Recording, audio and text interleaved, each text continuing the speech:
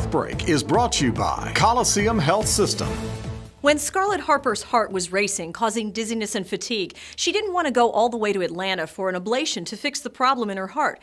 Fortunately, she found the same treatment available at Coliseum Medical Centers. I was in that morning and out that afternoon, so it was perfect. And the staff were wonderful. I was able to have it. I was able to go back home that night and be back with my family, so that was a big deal. And the success of the procedure has dramatically improved her quality of life. It's been great because now I can do the things that I couldn't do before. I go to the gym, exercise, and you know, since I've done it, I haven't had those episodes. I did get very good treatment here, so I'm very appreciative of that. To learn more or find a physician, call Consult a Nurse at 478 746 4646 or visit ColiseumHealthSystem.com.